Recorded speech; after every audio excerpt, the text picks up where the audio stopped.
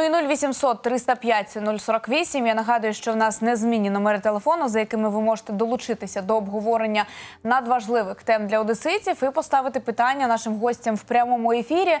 Тож перший бізнес е, юридичний інфраструктурний форум минув в Одесі. Він був присвячений питанням інвестиційної привабливості і юридичного захисту об'єктів інфраструктури України.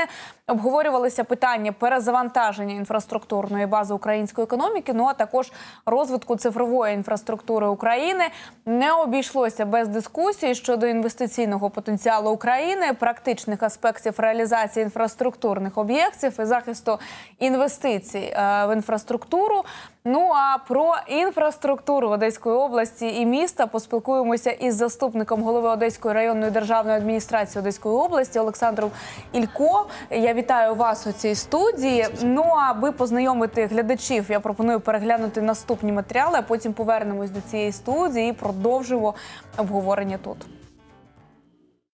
Олександр Ілько за освітою юрист за спеціальністю працював в багатьох організаціях, наприклад, в Асоціації культурного розвитку Одеси, в південноукраїнській транспортній прокуратурі та у кількох великих компаніях. Перебував на посадах прокурора відділу з нагляду за виконанням законів у транспорті та начальником юридичної служби морського торговельного порту Южний. Зі своєю діяльністю 5 років був начальником управління морегосподарського комплексу транспорту та зв'язку Одеської обласної державної адміністрації та ще п'ять директором департаменту транспорту, зв'язку та організації дорожнього руху Одеської міської ради. А з березня цього року Олександр Ілько перебуває на посаді заступника голови Одеської районної державної адміністрації. Ну, от, власне, сьогодні поспілкуємося про інфраструктурний потенціал нашого регіону, які проблеми існують, і що потрібно змінити в першу чергу, і які можливі шляхи вирішення проблем обговоримо в наступні 40 хвилин. А також про інші важливі питання інфраструктури, які стосуються кожного з нас. Е, Буде цікаво. Тож залишайтеся із нами. От, власне, е, Олександре, ви були на цьому форумі, навіть виступали. Про що розповідали там? Ну, форум делился на несколько секций, и в каждой секции были свои докладчики. Я был в секции, где э, механизм реализации инвестиционной политики представлял и замминистра Юрий Юрьевич Васьков, замминистра инфраструктуры. Также был замминистра э, Министерства э, экономики.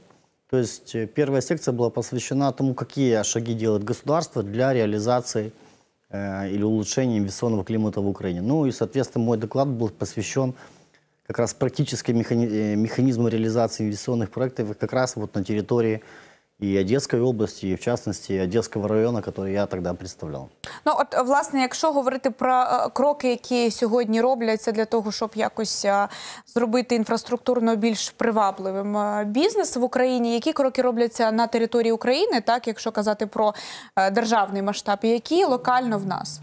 На мой взгляд, самый главный э, и глобальный инфраструктурный проект в рамках всей Украины – это реализация проекта э, «Великое будівництво». Это реальное строительство дорог, где они либо вообще отсутствовали, либо были в плохом состоянии, либо это новые дороги. Это реально международные, международные э, стандарты. Это создание новых возможностей для реализации, и в том числе транзитного потенциала Украины. То есть в рамках всей страны считаю, что строительство новых дорог это всегда во всех э, странах было серьезным толчком для развития э, и других инфраструктурных проектов. Потому что когда создается дорога, создаются заправки, создаются новые рабочие места, создается там, туристическая э, составляющая. Но для примера я приведу, вот, напомню телезрителям, 10 лет назад попытка поехать в Вилково, зная, что там даже очень хорошие туристические места, всегда наталкивалась на плохую дорогу, и поэтому мало кто хотел ехать по плохой дороге. И там, поэтому сейчас мы знаем, что Вилково хорошая дорога, и, соответственно, это сразу же влияет на тури- туристическую привлекательность э, в целом. Ну, от е, власне, е, на ваш погляд, ви, ви кажете про загальнодержавне Вы значення, так? спросили про государственные. Так, да. і кажу, і що локально, власне, тут в Одесі, які кроки робляться, і Да. от які що важливо змінювати реально в першу чергу тут? Э, Ну, мне вообще очень приятно, что в качестве примеров я могу говорить именно про Одесский район. Э, Как раз на уровне э, того, что я думаю, что будет понятно э, нашим телезрителям. Но мы знаем сегодня, что одна из самых глобальных проблем в городе – это большой груз. да, который сегодня следует не только в порт, но и он следует транзитом через Одессу, в том числе там в, в Черноморск, либо, допустим, в Николаев, Херсон. э, Поэтому сегодня как раз для Одессы в рамках э, великого будівництва реализуется ряд проектов. Я их могу вкратце перечислить. Первое – это строительство объездной дороги, которая будет соединять которая позволит убрать, позволит убрать большой груз как раз с улиц э, Одессы, в частности, с поселка Котовского, и весь трафик пустить уже в объезд, э, в объезд э, Одессы. Э, Очень важно, что этот проект реализуется на уровне государства.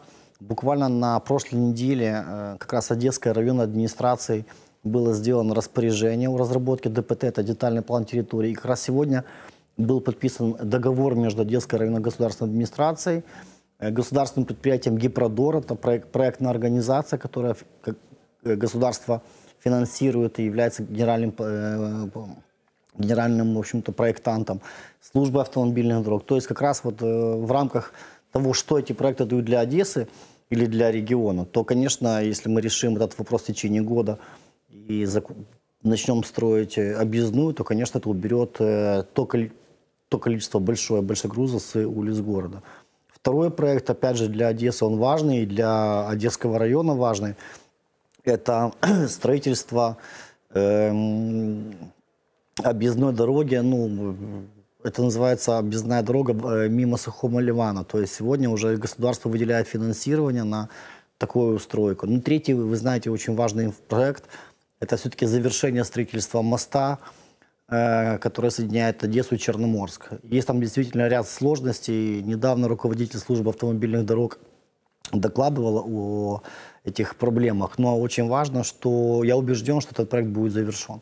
То есть, да, вроде бы, с одной стороны, этот мост не находится в Одессе, но с другой стороны, каждый одессит, либо каждый житель Черноморска так или иначе э, им пользуется, потому что это единственное место, которое, в общем-то, соединяет, ну, как мостовый переход.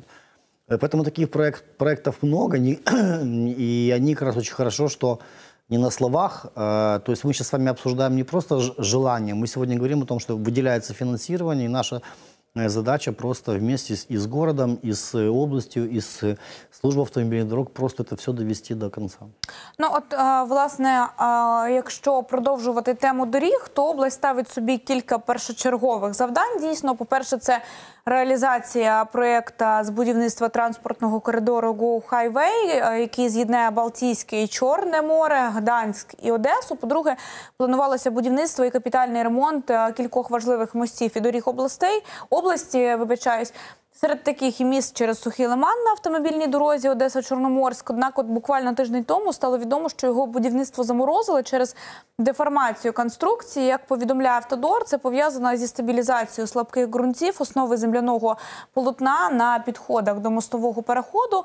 Ну а додаткові роботи для зменшення тиску підходів е, не дали очікуваних результатів. І наразі вирішується питання, що робити із мостом е, далі. Насправді, от власне, чи знаєте ви про таке, і чи є Да, якийсь вихід із цієї ситуації? Я как раз говорил о том, что руководитель службы э, автомобильных дорог э, Дмитрий Иванович Рыбалка да, информировал о этой ситуации. Мое мнение, что просто будут внесены э, ряд изменений э, в строительство. Э, Скорее всего, будут э, рассчитаны дополнительные какие-то работы, э, потому что то, что вы сказали, да, это соответствует действительности. Но самое главное другое. Я убежден, что этот проект, он будет завершен, он будет завершен, он не будет брошен, потому что, опять же, он реализовывается в рамках государственной программы. То есть это понятно, что сегодня бюджета ни города, ни области, ни Черноморска не хватит на реализацию этого проекта. Поэтому я думаю, что этот, э, ну, и, э, эти сложности, которые возникли, но я бу- думаю, они будут преодолены, и проект будет завершен. Ну, дивіться, в Одеській області а, також транспортний комплекс. Він представлений всіма видами, окрім залізничного і автодорожнього господарства. Мережі автотранспортних підприємств, аеропорту і аеродромних комплексів Одеська область відзначається морськими експедиторськими торгівельними портами і судноплавними компаніями. Це дає можливість транспортувати великі вантажі між різними видами транспорту. Адже в області діють міжнародні залізнично-морські автомобільно-морські переправи. Ну а в стратегії е, розвитку Одеської області на період е, з 2021 по 2017 а, рік головними напрямами розвитку виділяються розбудову і розвиток логістики на території Одеської області, також збільшення вантажу і пасажиропотоків, е, взаємодії всіх видів транспорту як основи створення мультимодального транспортного вузла. І також планується збільшити обсяги залучення інвестицій. Тож що потрібно інвестувати в транспортній інфраструктурі, на ваш погляд, в першу чергу, і які сторони транспорту зараз найбільше потребують змін?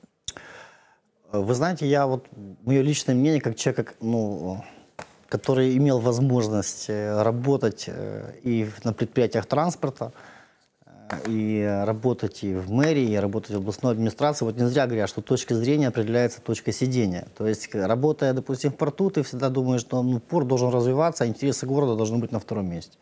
Как только ты меняешь место работы и больше начинаешь знать или видеть, или смотреть, то, конечно, точка зрения действительно меняется. Мое мнение, что э, с учетом как раз той децентрали- децентрализации, которая вот сейчас э, активно проводится, как раз э, реализация любых инвестиционных проектов, она должна отвечать интересам громады того населенного пункта, где этот проект будет реализован. Я приведу маленький пример. С одной стороны, увеличивая объем грузоперевозок либо перевалки зерна, допустим, в порту Одесса, мы вроде бы говорим о том, что да, увеличился, увели- увеличился грузопоток. С другой стороны, когда мы видим эти зерновозы на улицах города, либо на улицах э, прилегающих к городу, да, то, соответственно, в общем-то, любому жителю города не совсем комфортно мириться с этим. Поэтому как раз вот и должен быть баланс интересов. С одной стороны, инвестора, который должен создавать рабочие места, платить налоги, в том числе и в местный бюджет, но, на мой взгляд, должна однозначно учитываться, должны учитываться интересы громады, жителей того региона, либо города, либо м, селища, неважно, где будут реализовываться инвестиционные проекты. И очень важно, что вот сегодня уже законодатель стал включать ин- интересы громады, в том числе при реализации инвестиционных проектов. Я хочу буквально два слова сказать. Сегодня ну, вот в рамках э, форума инвестиционного, который вы упомянули, очень серьезно обсуждался вопрос концессии. Концессии портов либо приватизация, либо аренда. Но тем не менее, мы, для нас это очень важный момент по одной причине, потому что любое изменение экономических либо юридических отношений влияет на жителей города, которые работают на этом предприятии. Поэтому мы должны помимо интересов инвестора еще учитывать интересы тех людей, которые работают на этих предприятиях. Это очень важный момент, и понятно, что не всегда, скажем, все можно мерить только экономическими составляющими. Ну, Потому что есть ряд проектов, где, ну, допустим, предполага- предполага- предполагается там, сокращение рабочих мест. Для нас, допустим, сокращение рабочих мест также является нежелательным, потому что это люди, это семьи, это какие-то э, традиции. Поэтому вот я думаю, что те проекты, которые будут реализовываться, они в том числе будут рассматриваться с точки зрения соблюдения интересов и жителей области, и э, непосредственно жителей громад. Ну, от в 2020 році за інвестиційним е, паспортом в Одеському регіоні найбільше інвестували в торгівлю. Це понад 42% від усіх інвестицій. В нерухомість частка інвестування склала понад 7%. Ну і приблизно стільки ж в інформаційні технології, приблизно порівну понад 5% із загальних інвестицій отримали агробізнес, наука, логістика і промисловість. Ну а дещо менше інвестували минулого року в будівництво. Це близько 3%. І от а, чи зміниться інвестиційний паспорт е, в поточному році, і яка сфера потребує більшого інвестування зараз, на ваш погляд, Олександр? Ну, я хотел бы сказать, что вообще э, Одесса, не только Одесса, но и Одесская область, и Одесский район, это не только транспортная инфраструктура и интерес к транспортной инфраструктуре. Сегодня на территории области уже, есть, ну, уже реализовано очень много проектов, связанных с зеленой энергетикой. Это э, так называемые там, ветряки, да, это э, ветряные э, станции, это солнечные э, станции, которые э, уже установлены, и такие проекты также есть. Кроме того, надо понимать, что инвестиции, это в том числе, сегодня есть те ресурсы, которые есть в области, это в том числе тот же Куяльник, есть э, очень много у нас рек- ре- рекреационных зон, которые также могут вызывать определенный интерес для инвесторов. Конечно, традиционно Традиционно мы ждем в том числе инвесторов в инфраструктуру, но вот вы сейчас затронули то, что больше всего, э, там, допустим, в, объе- в объекте, в бизнесе э, недвижимости. С чем это связано, как раз тоже мы об этом говорили на транспортном форуме. Проблема в том, что для, реально, э, для реализации инвестиционного проекта в транспортную инфраструктуру, к сожалению, пока нужно очень много времени, очень много процедур, очень много, скажем, зарегулированных э, процессов, которые не позволяют оперативно реализовать тот или иной инвестиционный проект.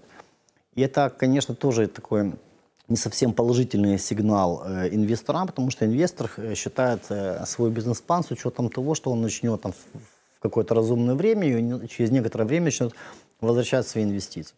Об этом мы тоже говорили, и по заверению представителя Министерства инфраструктуры будут сделаны изменения, связанные с определенным упрощением процедур, потому что действительно для нас сейчас важно, чтобы наш регион был инвестиционно привлекательным.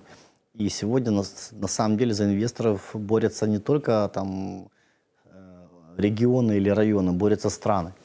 Поэтому наша задача сегодня быть самыми лучшими. Ну, я думаю, будем. Ну а чому е, інвестори мають інвестувати в Одесу? Що тут такого гарного є? Ну от чим можна, якщо можна так сказати, заманити їх сюди? Ну, во-первых, э, начнем с того, что Одесса и ее инфраструктура сегодня, в общем-то, может использоваться для реализации транзитного потенциала. Все-таки Одесса находится на пересечении ряда э, транспортных коридоров. Это раз. Второе, традиционно мы говорим о том, что мы сейчас даже не говорим только про Одессу, да, мы сейчас говорим в целом, там, допустим, про Одесскую область или там Одесский район. Я скажу, что Черноморск, Одесса и Южный, они сегодня все вместе переваливают свыше 65% всего грузооборота Украины. Да, то есть три порта, и это уже 65% всего грузооборота нашей страны. Э, Почему интерес? Потому что в том числе Одесса рассматривается и традиционно как серьезный транспортный хаб по импорту контейнеров. Э, Сегодня большое количество зерновых терминалов строится в Одессе. И плюс у Одессы есть резерв территорий, которые э, называется зона приоритетного развития. Это решение принято на уровне там, э, сессии Одесского городского совета.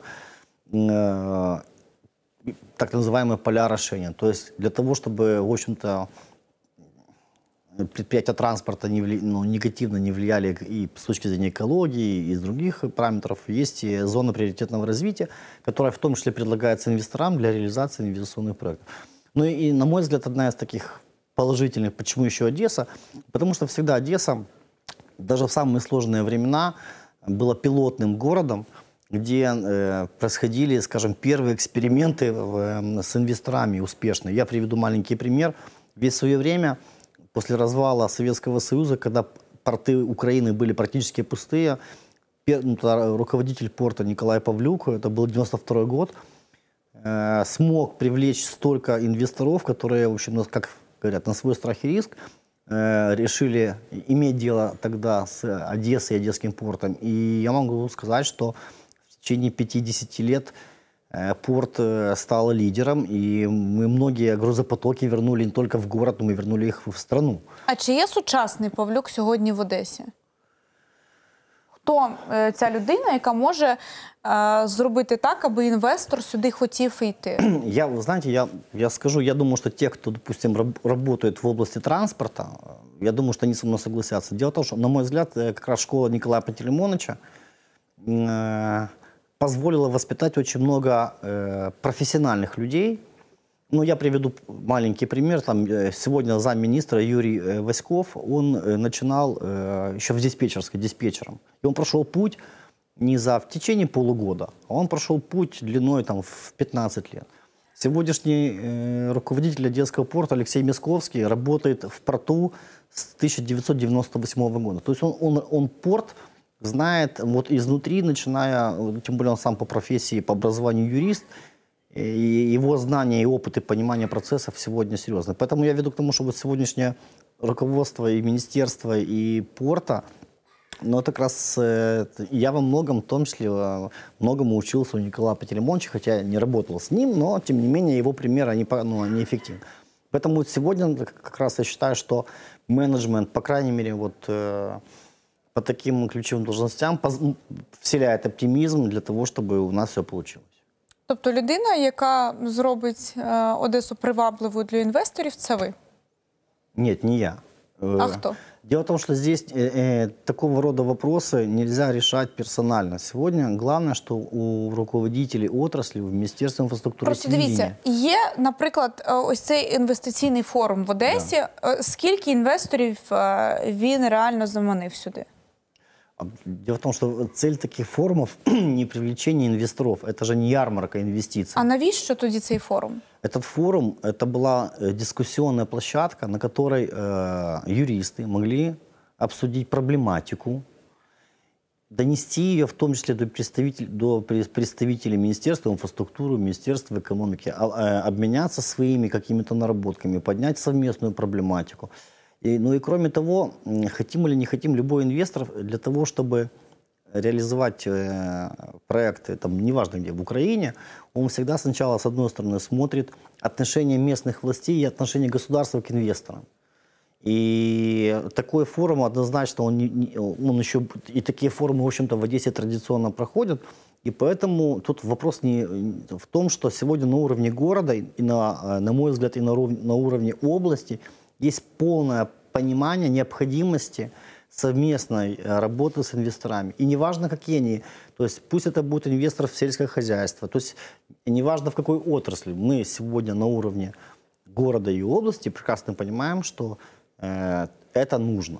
Ну, дивіться, декілька інвесторів е, призупинили свої інвестиції загалом е, справи в Україні через те, що були дуже великі відкати так для початку бізнесу. Які сьогодні є гарантії, тому що це одна е, це є одною із причин того, що не хочуть інвестувати в Україні, і плюс. е, е, Судова реформа, рефо- правоохоронна реформа. Тобто, ну інвестори вони не захищені, на жаль, сьогодні в Ну, Україні. во-первых, сейчас уже есть закон, э, как мы его называем, вот часто в СМИ так называют, про инвестиционных нянь.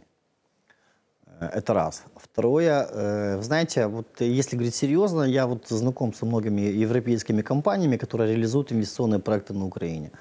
И большинство из них и, используют кредитные деньги таких структур, как Европейский банк э, реконструкции и развития и так далее, и так далее. И они настолько привыкли уже к понятным прозрачным правилам игры, что, в общем-то, и они на рынке уже по 5, по 10, по 15 лет. Э, Что, что касается коррупционной составляющей, ну, послушайте, у нас сегодня есть такое огромное количество ну, контролирующих структур.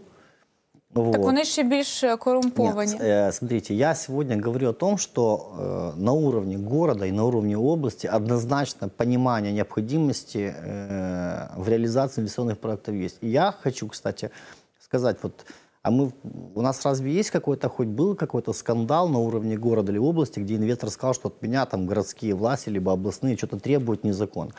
То есть если мы говорим как раз про какую-то коррупционную составляющую, наверное, это касается, наверное, там налогов и, и еще каких-то, в общем-то, вопросов. Но я не помню, чтобы были претензии к э, местным властям по поводу реализации того или иного инвестиционного проекта. Не, уже не считая о том, что в основном э, как раз э, всегда встречи с инвесторами проходят либо на уровне э, губернатора э, области, либо на уровне там, мэра города.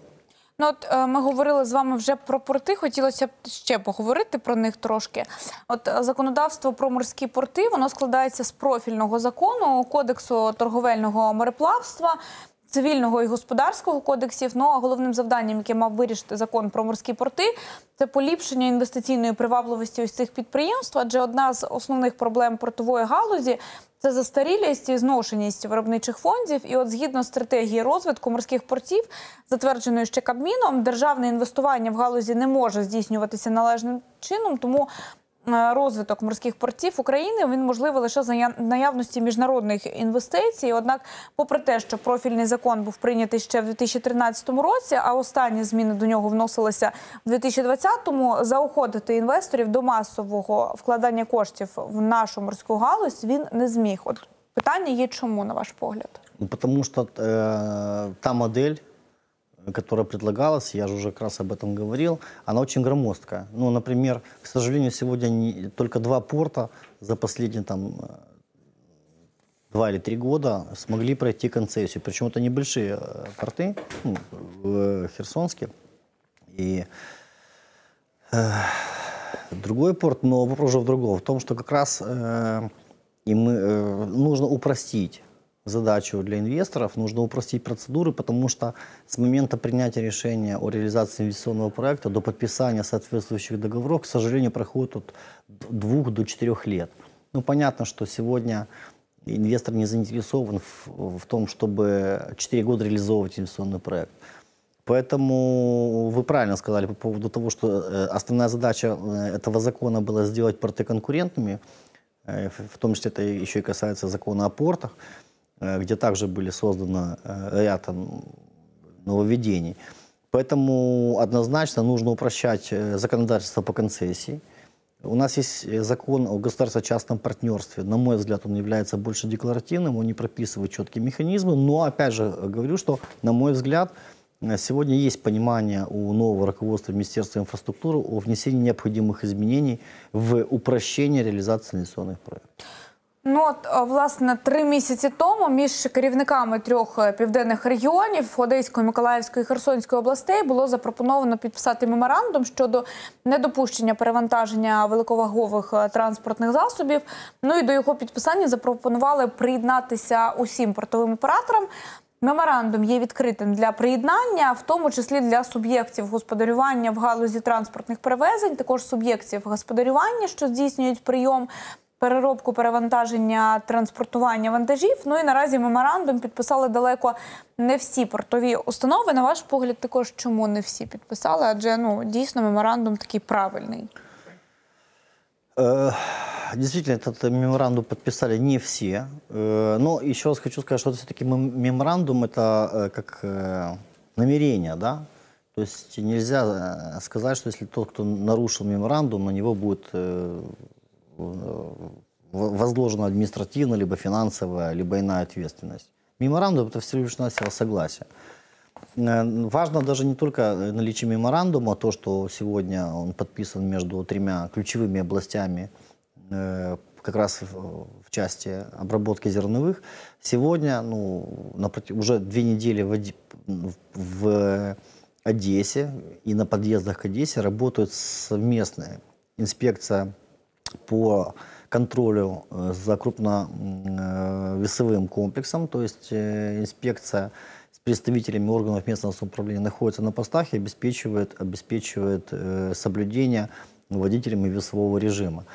И это более важно даже, чем то, что какая-то из компаний не подписала меморандум. Потому что даже если она подписала меморандум, но к ней идет перегруз, нам важно, чтобы к ней не дошел перегруз. Э, мы будем продолжать работу с рядом компаний, которые э, пока не подписали э, такой меморандум. Я почему-то думаю, что в течение там, минимального времени этот вопрос просто снимем с повестки дня.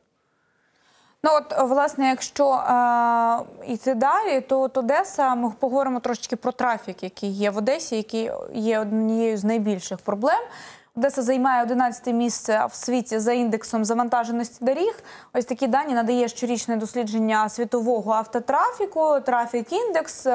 І от, власне, е, як покращити ось цю ситуацію за пропозицією народного депутата Миколи Скорика, необхідно встановити розумні світлофори. Вони б скоротили час перебування авто на червоному сигналі, і також розширити автопарк міського транспорту комфортабельними автобусами. До того ж, пропонується обмежити в'їзд певних категорій транспорту і будувати більше паркінгів. Ну і подібні кроки мають розвантажити міські дороги, начебто, все на поверхні. Так ну. Власне, пустити класний громадський транспорт, е, розвантажити міські е, дороги, зробити більше паркінгів. Але от що реальніше на ваш погляд зробити? І от скільки над цією проблемою думають сьогодні тут в Одесі? Я думаю, что вот э, Николай Леонидович сказал э, три ключевых э, позиции. И реализация, допустим, вот их три, да, реализация двух, а не трех не даст эффекта. Потому что нет смысла, допустим, ставить просто только умные светофоры, не улучшая общественный транспорт. Потому что если раньше когда-то мы говорили, что автомобиль был, был роскошью, то сегодня это уже не роскошь, да? И количество э, автомобилей э, увеличилось в десятки раз, а при этом ширина дорог ну, как бы больше не стала. Вот, поэтому сегодня однозначно нужно э, не только делать э, там, автоматическое управление э, дорожного движения, однозначно нужно закупать новый подвижной состав. Ну, на самом деле не секрет, что такая работа достаточно давно ведется. Вы знаете, что уже были при- приобретены и троллейбусы по линии БРР, и 10 было троллейбусов приобретено э, Богдан. Сейчас идет работа по приобретению больших э, многосекционных э, трамваев. Просто нужно понять, что такого рода проекты, они требуют, помимо э, времени, они требуют очень серьезного ресурса. Но я приведу пример, когда мне часто говорят, а что Одесса не может купить там э, электротранспорт. Я приведу пример, что стоимость там, электробуса э, варьируется от э, там, 300 до 450 тысяч евро одного. То есть, если мы говорим о том, что э, для того, чтобы это все сделать, нужно, конечно же, и приобретать серьезный подвижной состав, ну, если не менять шило на мыло, да, переходить в новую форму. так. А, Одновременно, конечно, вы правильно сказали, что приобретая, создавая возможность э, пользоваться более качественным общественным транспортом, конечно, в том числе нужно заниматься строительством паркингов. Но я, допустим, убежден, что 10 лет назад эти строительства были не актуальны, потому что не было механизма привлечь ну, привлечь за не- неправильно припаркованный автомобиль. Сегодня в городе работают уже инспектора. Але дивіться, є ж паркінги, наприклад, там в тій самій Аркадії, так є підземний паркінг, але він не користується попитом, тому що люди не хочуть, мабуть, сплачувати кошти. Ну, Правильно. Тобто паркінги є, але люди не хочуть ставити туди Правильно. автомобілі. Правильно. Вот э, сегодня в городе появился уже механизм привлечения к ответственности тех, кто не хочет, но должен. Да? То есть я э, не должен э, оставлять машины э, На зеленой зоне, но я могу ее оставить. Вот раньше это была проблема, и полиция не могла сама справиться, потому что не хватало ресурсов. Сегодня в городе появилось, э, появились инспектора. Да, их пока немного, но это только начало пути. Э, Если в Одессе будет 50-100 инспекторов, они будут там, как сейчас планируется, передвигаться на электротранспорте, они будут мобильны. Тобто таким чином культуру все ж таки м, Однозначно. культура ось такої автомобільної, Конечно. паркувальної можна домогтися. Я, ну, я общался со многими коллегами, экспертами. Конечно, с одной стороны, лю- э, любая власть или город, э, или менеджеры города должны предоставить, с одной стороны, возможность, а с другой стороны, город должен иметь э, механизм по привлечению к административной ответственности, или, ну, к любой ответственности, если ты не хочешь м, если ты создаешь проблемы и не используешь тот сервис, который для тебя специально создали. Ну, например, если есть Допустим, вот э, парковка на Екатерининска, да, тебе создали возможность прийти, никому, не платить наличные, а заплатить в банкомат, в паркомат. Ну, тебе же такую возможность создали. Если ты припарковался и не оплатил, ну, это же получается твоя ответственность. И сейчас уже, если там есть ответственность, соответственно, есть инспектор муниципальный, который может, в общем-то, сделать, э, составить протокол, э, наложить штраф. Ну от власне, е, якщо продовжувати цю тему, пішохідна зона, давайте про неї трошечки поговоримо. Вона функціонує в Одесі вже понад місяць щотижня на вихідних. Наразі це найбільша пішохідна зона в Україні. Для одеситів і гостей міста це така можливість не тіснитися на тротуарах, а вільно переміщуватися широкими вулицями без зайвих автівок. В п'ятницю з'являються знаки і бетонні блоки клумби, які обмежують автомобільний рух. Однак автомобілісти скаржаться на перехрестях кордонних вулиць, які перекрили для авто Катерининської і Рішельєвській, а також на Грецькій і Пушкінській утворюються затори. І до того ж на пішохідній зоні часто переміщуються на електросамокатах і велосипедах. Ну а туристів, які бажають прогулятися Одесою вихідними, стає більше. Тож а що необхідно, на ваш погляд, Олександре, допрацювати і як можна вдосконалити цю ініціативу, і загалом як вона вам? Ну, идея классная. Но что нужно сделать? Время. Время, потому что понятно, что создание пешеходных зон всегда требует э, времени, чтобы люди привыкли. И привыкли и автомобилисты, и пешеходы, и торговые сети, и гостиницы. Это нужно время. И в таких, в общем-то, решениях всегда приходится иногда, ну, то есть рассчитать все невозможно. Всегда надо на ходу делать какие-то корректировки. Нужно где-то менять э, посты полиции, нужно менять организацию дорожного движения. Но это динамическая работа. Поэтому, э, как по мне, хотя я, вы знаете, заядлый любитель э, транспортных средств, но я считаю, что если мы говорим, что в городе мы реализовываем проект э, приоритетов, а на первом месте всегда пешеход. Поэтому, если мы хотим все-таки жить в, в европейском городе, то считаю, что создание пешеходных зон в центре города, возможно, не всем, может быть, нравится, но само решение правильное. И если говорить э, даже языком цифр, ну вот мы же видим сегодня, сколько человек раньше каталось на велосипедах и на электросамокатах пять лет назад. Сейчас, если мы выйдем с вами на улицу, мы увидим огромное количество людей, которые используют либо самокаты, либо велосипеды, то есть они используют, используют совсем другой вид транспорта. И поэтому, на мой взгляд, если мы говорим о будущем, то, конечно, нужно создавать уже новую инфраструктуру с учетом этих новых видов транспорта, потому что сегодня это новые технологии, новый сервис и, кстати, новая философия. Мои многие знакомые, имея машины, не пользуются машинами, они катаются на велосипеде, потому что их философия, что им, им нравится кататься на велосипеде, причем не просто а, на работу, с работы, на встречи. Это уже другая, возможно, другое поколение. А скільки за ось цей місяць ви гуляли по пішохідній е, зоні? Честно говоря, по выходным не гулял. Ну, не, по- э, ну, ровно потому, что у меня были другие, скажем, семейные дела. Поэтому я один раз э, был э, по Жуковского пешком э, прошелся. Мне очень, кстати говоря, понравилось. Понятно, что первое время там была определенная э, сложность, потому что не все еще были проинформированы. Но, но это не беда и не проблема, это всего лишь навсего время. Но мне в целом понравилось, потому что я скажу больше, что мы в свое время в 2016 году проводили такую первую акцию, называлась «Окупай Жукова». То есть тогда, когда мы сделали маленький-маленький кусочек пешеходным. И на меня вместе с волонтерами, с активистами, мы тогда сделали, ну, вроде бы там на пару часов, но это так было непривычно, когда вообще в место, где была постоянно куча машин, постоянно было, в общем-то, ну, явно не пешеходная зона, и вдруг она стала как-то преобразилась, появились какие-то скамейки. Я тогда уже понял, что, ну, в принципе, э, за Евро... ну, если мы говорим про европейский город, то за такими подходами будущее. Ну, от е, власне редакція Доброго вечора провела своє опитування серед містян стосовно доцільності запровадження тієї самої пішохідної зони. Давайте почуємо те, що почули наші кореспонденти. Як ви ставите, що центр Одеси буде повністю пішохідний, тобто дороги перекриті? Отлично. А чому? Прекрасно вам гулять спокойно. Добре, добре, це дуже добре. А чому ви так вважаєте? Дуже багато машин, дуже багато і трошки воняє. А як думаєте, з паркуванням тоді буде ситуація? Чи вистачить всім місця? Ну, Треба паркінг робити, бо немає міста. Треба б- будувати паркінг. Да, в принципе, никак. Мы приезжие, поэтому уже вон собираемся отъезжать. А як для вас, от для як для приїжджих в Одесу, те, що в центрі Одеси не буде машин? Ну, в принципе, позитивно, если для людей, у которых нет машины. А если есть машины, то не очень. Ой, Положительно. А чому? Потому что мы здесь живем, и нам будет очень удобно. А думаєте, як думаєте, що буде з автомобілями? Я думаю, что будет коллапс.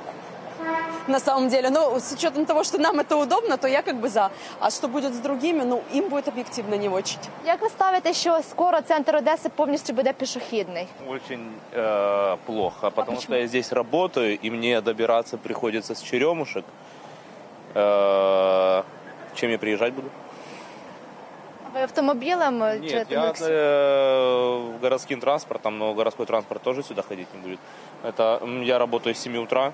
Во сколько мне нужно встать, чтобы э, сюда приехать? Понимаете меня, да? А поздно вечером, когда уезжаю на такси, то тоже такси куда вызывать? Тобто, думаєте, це буде проблема для власників автомобілів, для тих, хто бере таксі? Да, тут очень много людей работает, очень много людей живет, и я считаю, что это реально проблема. Ну, от, власне, дивіться, для людей, які працюють, власне, це не дуже зручно. І насправді раніше ж також гуляли навіть Катерининською площею. На сегодняшнем аппаратном там, руководитель департамента транспорта говорил о том, что, в общем-то, сейчас разрабатывается новый сервис. Это мобильное приложение, э, где э, будут решены проблемы с жителями, потому что понятно, что центр города, там также есть э, жилой сектор, есть э, дома, где люди имеют свои машины. Это примеры Воронцовского, кстати, переулка, Екатеринской. Но еще раз говорю, что для реализации такого серьезного проекта просто нужно в том числе и время. Э, Наверняка будут внесены изменения в работу и общественного транспорта. То есть э, практика показывает, что вот все предусмотреть до мелочей в таких, э, скажем, пилотных проектах ну, практически невозможно. А як так вийшло, що отак от все з наступних е, вихідних ми будемо пішохідною зоною? Нет, ну оно так не вышло. Але здавалося, що так і вийшло. Нет, э, дело в чем. Дело в том, что изначально такая работа начала, была еще в 2018 году. Еще в 2018 году э, схемы по организации пешеходных зон прорабатывались с полицией. И в дальнейшем, в общем-то, отрабатывались и с полицией, и уже с э, учетом э, имеющегося в городе ресурса в виде э, инспекторов по паркованию. Это дополнительно появился э, стимул для реализации. Поэтому я не могу сказать, что это было там, я говорю, зненацька. Э, Скажу больше, э, изначально планировалась одна локация, потом были внесены изменения. Про- Просто, знаете, вот я вам скажу вот по своей практике, все мы помним перекрытие на Пересыпе в свое время, да? Я могу смело сказать, что на протяжении трех, трех месяцев говорили о перекрытии, а за месяц до перекрытия мы это информировали в средствах массовой информации, на всех интернет-ресурсах. На, вот Але вез- все одно вот були везде. люди, які не чули Но про к- це. ровно вот, и вот в день перекрытия я лично значит, э, на протяжении длительного времени вот с 6 утра стоял под Пересовскими мостами. И ко мне подъезжали десятки автомобилей с большими глазами, которые открывали окно и говорили, вы что, не могли предупредить? Ну, хотя я полностью был убежден, и э, я знал, что мы это прорабатывали, но через все информационные ресурсы. Поэтому очень сложно вот так вот э, сказать, что вот мы это сделали, мы все, всех предупредили. Кто-то не услышал, кто-то не понял, кто-то не захотел и так далее, и так далее. Поэтому для реализации таких проектов, конечно, нужно в том числе и время, и терпение. Ну от е, власне, е, якщо говорити вже про велопішохідну естакаду, то на диста- 10-й станції Великого Фонтану завершили її минулого року. Цим проектом в мерії хотіли продовжити трасу здоров'я до 16-ї фонтану, зв'язавши 8 і 10 станції. Однак проблем зі зручності пересування для велосипедистів вона не вирішила. Основний проблемний відрізок від Аркадії до 8 станції фонтану, адже Велодоріжка з траси вона закінчується прямо на Аркадійській алеї, де з велосипедом вкрай складно пробратися крізь натовпи туристів до черги до нічних клубів. Далі на велосипедистів чекає розвилка. Направо поїдеш, е, будеш впиратися в ЖК Морська симфонія, наліво повз кафе до велосипед. Необхідно спустити сходами пішки. На велосипедистів чекає розбитий асфальт з розкиданими шматками плит. Далі дорога вкрай вузька. Два велосипедисти не зможуть розминутись між собою, і лише після цього можливо нормально виїхати на естакаду. Ми говорили про те, що сьогодні нова філософія. Я їжджу на велосипеді, тому що мені це подобається. І от, власне, що робити із цими е, велодоріжками, яких, е, які, на жаль, зараз не в кращому стані, або їх загалом немає. Первое. Уже вступили в силу новые ДБН, где, которые указывают о том, что при строительстве новых дорог обязаны быть, уч- э, быть учтены наличие велодорожек. То есть это уже э, требования на уровне законодательства. Второе, там, где можно создать велодорожки с учетом, вы знаете, так как э, вступили в силу новые ДБН, э, уменьшилась ширина э, рядов. Таким образом появился определенный там резерв. Да? И сегодня, сегодня ряд велодорожек как раз и возникает, в- так как появилась возможность демаркировать существующие ряды, уменьшить их ширину согласно э, новым ДБНам, и таким образом появляются велодорожки. Ну и третье, конечно же, это строительство новых велодорожек, и с учетом того, что они, как на мой взгляд, должны быть магистральные, и они так запланированы, то есть они должны соединять спальные районы, это, допустим, поселок, э, это Ирова, там, Черемушки, там, поселок Котовского и центр города с какими-то развязками в городе. Потому что ну, мы часто общались с экспертами, велоэкспертами, велоактивистами. э, все э, в один голос говорят, что м, трасса здоровья – это больше рекреационная зона. Если человек ездит на, ездит на работу, он мало э, вероятно, что он будет ехать как раз через трассу здоровья. Поэтому э, в тех проектах, которые там, мы в свое время разрабатывали, я убежден, что они сейчас э, рассматриваются в городе, э, должна быть магистральная велодорожка с поселка Котовского в центр города, такая же велодорожка будет с поселка Таирова, ну и Черемуш. Ну от е, власне, е, давайте вже резюмувати нашу бесіду. Маємо закінчувати. Була в телеграм-каналах інформація про те, що до мерії звертаються люди. Оце з приводу пішохідної зони, аби отримати певні аусвайси, якщо можна так сказати, на проїзд е, там в у вихідні дні, там в п'ятницю після сьомої години. Чи це правди, правдива інформація, і чи мерія дійсно може видавати ось такі перепустки? Чи були такі випадки? Я хочу, Не називаючи імен. я хочу вам напомнить, что я не являюсь сотрудником мэрии. Це зрозуміло, але все ж таки, ну Я, честно говоря, слышу это в первый раз. тобто, все ж таки не зверталися. Я, люди. я еще, еще раз говорю, я, возможно, и обращались, но э, ни- никто не, не может запретить человеку э, обратиться в мэрию и попросить какой-то, как мы говорим, вездеход. Но это еще не означает, что он может его получить. Сегодня Сергей Тетюхин а, аппаратом сказал, что сегодня благодаря совместной работе с Петром Лопуховым разработан сервис, где житель, допустим, либо менеджмент э, кафе, ресторана может подать какие-то номера машин, имеющих право проездом, продукты э, и так далее, и так далее. Эти номера заносятся в э, программу, и полиция видит э, в базе тех, кто находится и может проехать, э, опять же, в эти выходные дни. Но это немножко другое. Это больше IT-продукт, а не какой-то, э, там, какая-то бумажка, как говорил профессор Преображенский, бумажка всем бумажкам бумажка. Вот поэтому не могу комментировать, но я, честно говоря, сомневаюсь, что такие, как вы, эти аусвайсы будут. Ну я вам дякую, що ви сьогодні прийшли до цієї студії. Е, Було справді цікаво. Олександр Ілько тут із нами говорили про інфраструктурний потенціал е, нашого регіону. А-